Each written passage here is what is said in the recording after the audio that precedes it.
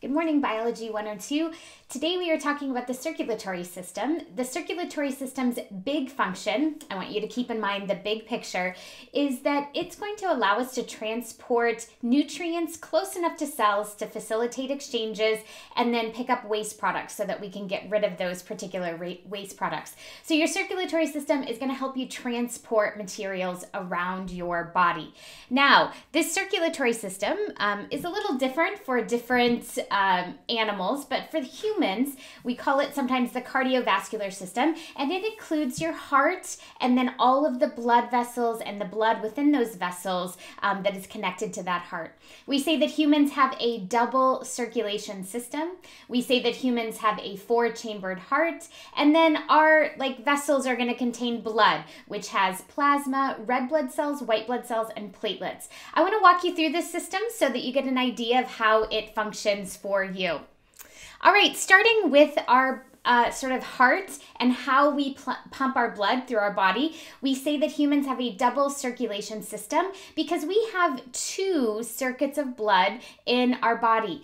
Uh, the pulmonary circuit goes from your heart to your lungs and then back to your heart again. That's called the pulmonary circuit. The systemic circuit goes from your heart all over your body to the tips of your toes and the top of your head and then back to the heart. That is called the systemic circuit. So we have these two circuits of blood flow, pulmonary circuit and systemic circuit. I want you to know the order of structures, the main structures that each of these um, circuits holds and that blood will pass as it's traveling traveling in these particular circuits. So I'm going to walk you through the pulmonary circuit first. Remember, pulmonary circuit is going to take blood from the heart to the lungs and back again. Before we get to that pulmonary circuit, I want to tell you just a little bit about some of the words that I'm going to be using. So we say that your heart is a four chambered heart. Um, the top chambers are called the atria and then the bottom chambers are called the ventricle. So we often will refer to the right and left atrium um, and the right and left ventricle. You also will be hearing the word arteries. Arteries are typically very large vessels moving blood away from the heart. So I remember arteries A and away A, right? So uh, those two words kind of go together. Arterioles are medium sized vessels. So typically arteries will branch into arterioles. And then finally, capillaries are the thinnest vessels that we have. These are typically one cell thick or very, very thin to enable these exchanges of nutrients and gases um, with your body cells um, and then also picking up waste uh, products. Venules are like arterioles, they're medium sized vessels, but this time moving blood back towards the heart. And veins are your largest vessels that are moving blood back towards the heart. So keep in mind these words as we go through um, this particular system. Keep in mind that your cardiovascular system is a highly branched system so that we have lots of surface area of these vessels and these vessels are reaching every single cell inside of your body. So you can deliver these um, you know nutrients that are necessary for life for you to do your life work and then pick up waste products as well from every single cell inside of your body all right, so that takes us to our blood flow, this double circulation system, and the first circuit of blood, the pulmonary circuit, that moves blood from the heart all the way to the lungs and then back to the heart. Um, this is uh, typically this side of the heart, um, the right side, that is driving this particular circuit is a little bit smaller because blood is moving less of a distance to get to the lungs and back again than what the systemic circuit will be, where you're moving blood all over your body body and back again. I'm going to follow with a little arrow over here of how blood is going to work um, and which structures it is passing. So blood starts in this circuit. It starts in the right atrium at the top here. The right atrium is carrying blood low in oxygen. That is shown in blue in this diagram. Blood high in oxygen is shown in red. So from your right atrium, you are receiving blood from all over your body. It has just returned from your body delivering oxygen. So now your blood is low in oxygen. Um, we start at this right atrium. We pump through the tricuspid valve because there are three flaps in this valve um, to the right ventricle, this lower chamber. The right ventricle will then pump blood out of the pulmonary artery. The pulmonary artery, just on top of the heart, will branch right away, carrying about half your blood to your right lung and half of it to your left lung. So, pulmonary artery branches, um, carrying blood to the lungs. The pulmonary artery will also branch into arterioles, medium sized vessels, and then finally into lung capillaries. Lung capillaries are those thin vessels that are going to allow exchange. And the important thing that's being exchanged in your lungs is gases. And so, what we want to see happen is we have this inner kind of lung space and then these vessels that kind of wrap around the backside. As these capillaries pass by your lungs, we want oxygen to enter your bloodstream from your air spaces. And we want CO2 to sort of be delivered into or be released from the blood into those airway spaces. CO2 is ultimately a waste product that we exhale off. Um, so we want to deliver it to the lungs, the air spaces, so we can exhale that off. Oxygen we have breathed into our lungs. We want to pick up that oxygen in this particular space, these lung capillaries. So as those capillaries pass by, they pick up oxygen. Now our vessels are red over here in the this diagram, those vessels, capillaries, will collect into venules, and finally the pulmonary vein um, that brings blood back to the left atrium of the heart. Notice the right side of the heart carries blood low in oxygen. Your left side is going to carry blood high in oxygen. So now we've made a complete circuit from the heart all the way to the lungs and back again. That is called the pulmonary circuit. So let's take a look at the systemic circuit. The systemic circuit is going to carry blood from your heart all over your body and then back to that heart again. We're going to start this circuit. Um, it is fed and driven by the left side of your heart, and we're going to start it in the left atrium.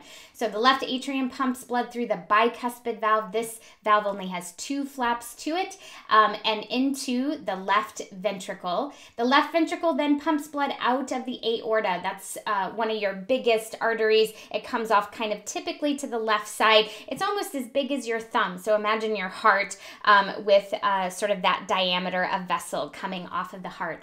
The aorta branches immediately, even within a few inches of that uh, sort of coming off of the heart heart space you will see that the aorta is sending some blood to your head region it's branching um, and sending some arteries and bloods up to your head region and some of them some of the blood will be diverted to the lower body region and all the organs that are under the heart as well. So that aorta divides, arteries then split off. Um, they form arterioles, like medium sized vessels, and branch all the way down into body capillaries. Body capillaries are going to do the opposite exchanges as what we just saw in the lungs. And so your body capillaries it, uh, when the blood reaches it, we want to actually give the oxygen away to your cells so that they can do cellular respiration and actually um, complete that energy reaction. So we will find that oxygen is leaving your blood um, in the body capillaries, and CO2, that is a waste product that is made in cellular respiration, will be picked up. So oxygen is will be leaving the blood, and CO2 will be entering the blood. So our blood changes from this red color um, at these body capillaries to this blue. Um, these body capillaries will collect into venules and finally into your main veins. Remember, veins bring blood back towards the heart. Um, and there are two main veins that bring and deliver blood back to the right atrium. Now it's low in oxygen. Um, the superior vena cava um, returns blood from above the heart, so kind of head region and down to that right atrium. And then the inferior vena cava returns blood from below the heart um, back to that right atrium. And we can start this double circuit all over again. Now, there are pictures in your notes, and so, and one of them is labeled, so you might try to go through this, um, going from one to two to three, um, passing through both the pulmonary circuit and the systemic circuit, your double um, circulation system that we see in humans. All right, I want to go from there to talking about the heart because we not only have these vessels um, and we're pumping and we're transporting nutrients around the body, but we also have this main pump um, inside of us. It's made of cardiac muscle, and our heart has four chambers to it. So we have the right atrium and right ventricle on the right side, and left atrium on the top, left ventricle on the left side. Notice that in blue here, your right side is carrying blood low in oxygen, your uh, left side is carrying blood high in oxygen. And notice these valves. Valves are in your heart in order to keep blood moving in one direction. Um, you don't want blood like kind of gurgling backwards. Um, it's almost like a one way street around your body, and you don't need uh, things going backwards to kind of divert that blood.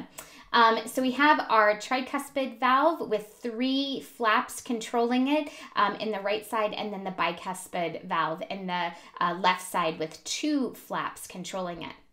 Now, what happens in your cardiac cycle? What happens to this pump to actually pump blood? The cardiac cycle is the rhythmic contraction, right, squeezing, and then relaxation of the heart. Um, we call this uh, sort of cardiac cycle. Um, systole for the contraction phase and then diastole the relax- relaxation phase. And diastole the heart is actually relaxed the muscle is so blood can flow into these chambers. And then it is followed by a quick contraction of the atria the top two chambers that takes about 0.1 second um, followed by a contraction of the ventricles the lower two um, chambers. Uh, this is called this contraction phase is called systole. We get kind of a lub dub pause, lub dub, pause, um, cycling inside of sort of this um, cardiac cycle.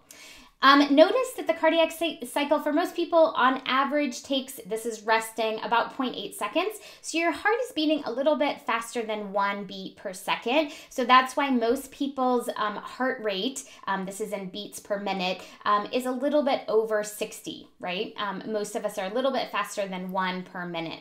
Um, we've talked about valves, how those keep um, blood moving in one direction. These are found in the heart, but also in the vessels like the aorta has a valve. Um, your pulmonary artery has a valve to keep blood from gurgling backwards or moving backwards. Um, if you do have uh, sort of gurgles and hisses in your cardiac cycle that your doctors are listening for as they're like uh, listening to your heart. Um, these are sometimes called heart murmurs, where your blood isn't um, sort of being driven in the correct way. Sometimes there are openings and flaps, or your flaps aren't closing um, correctly as they're like sort of snapping back together. Um, so this can lead to something called a heart murmur. All right, besides like sort of you have this pumping system, you have all these vessels that are carrying blood around your body and carrying out this transport. And blood vessels really, their form fits their function. So capillaries need to be very thin so that we can have diffusion, gases, and nutrients leaving um, that one cell thick surface um, and then also gaining waste products so that we can deal with those waste products.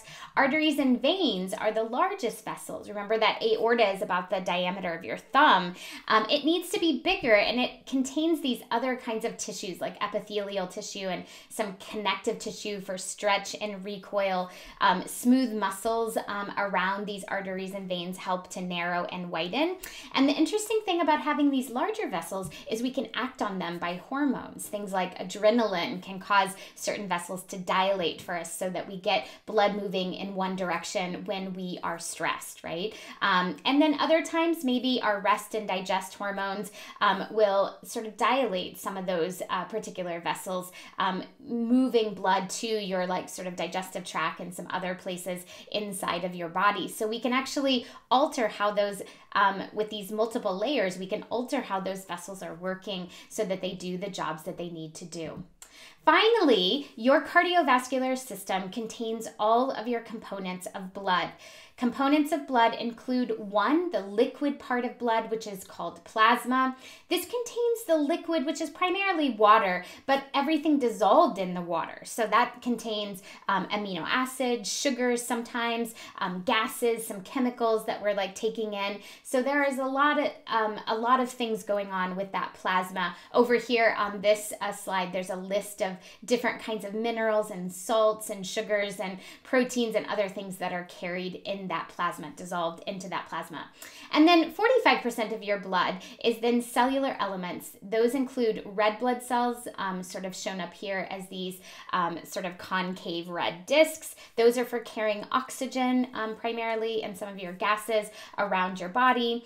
Um, white blood cells are shown just underneath them. White blood cells are also known as leukocytes, and they um, include all kinds of different classes of blood cells that help us defend our body from diseases. And we'll talk about those a little bit more when we get to the immune system and the lymphatic system. And lastly, these small little bits, um, almost like cytoplasm wrapped um, with membrane, right? So they're really um, tiny, are platelets. And platelets are going to help us clot our blood. So when we get a nick in a vessel or we've cut ourselves or whatever, platelets are going to help us almost block that up. And some other components over here, your um, fibrin and fibrinogen, are going to help create some netting to create like scabs and ways to like sort of keep you from bleeding out. And so platelets are a part of that. So this is an overview of your cardiovascular system. For your assignment, let me switch